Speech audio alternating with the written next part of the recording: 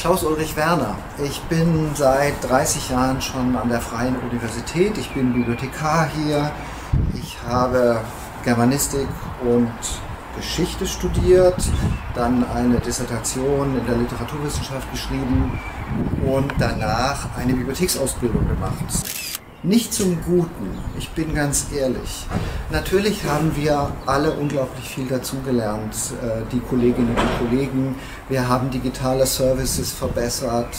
Wir haben uns sehr schnell auf diese Situation in der Pandemie eingestellt äh, und haben neue Dinge entwickelt. Wir haben gelernt, mit verschiedenen Konferenzprogrammen umzugehen, um digitale Konferenzen zu machen.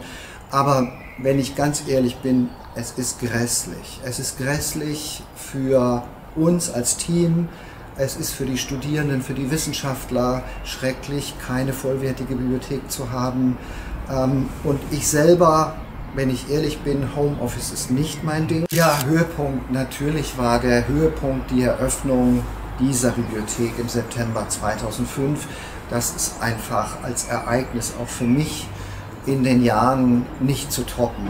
Ärgernisse, ja, über viele Jahre das größte Ärgernis, wir waren nicht dicht. Es hat reingeregnet ins Gebäude, darunter haben alle gelitten und es war auch ein Image-Schaden. Ähm, das war nicht schön.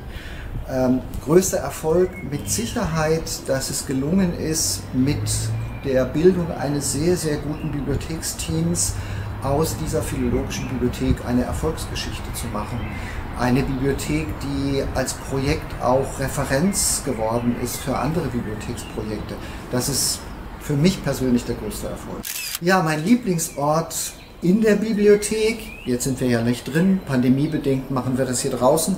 Mein Lieblingsort in der Bibliothek ist in der obersten Etage, weil da weil es da einfach ein unglaubliches Raumgefühl gibt. Das ist ein großes Erlebnis in diesem äh, in dieser Baukunst zu sein und das ist in der obersten Ebene, Ebene 3, einfach am schönsten. Das ist auch für viele Nutzer am schönsten.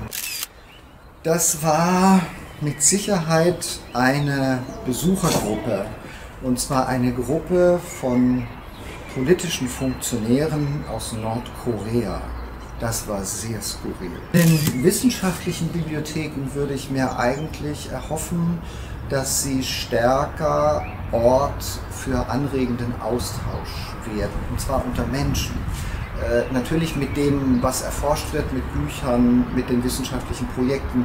Dieser Austausch, das machen wir dauernd, aber das würde ich mir wünschen, den Ort Bibliothek wieder stärker zu entwickeln zum Austausch der Menschen untereinander.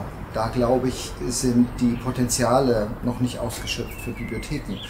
Und das Zweite, was, was ich mir wünsche, ist, dass wissenschaftliche Bibliotheken Orte bleiben für, die, ja, für das entschleunigte Lesen, trotz allem Digitalen, was eine großartige Sache ist und eine große Zukunft in den Bibliotheken bringen wird. Aber das entschleunigte Lesen, das gedruckte Lesen, das sollte bleiben. Für die schnelle Recherche immer das Digitale, immer das E-Book. Aber ansonsten ist das gedruckte Buch einfach unschlagbar. Fahrradfahren, aber nicht im Winter und nicht bei Regen. Für die Kunst gehe ich überall hin, lesen kann ich selbst.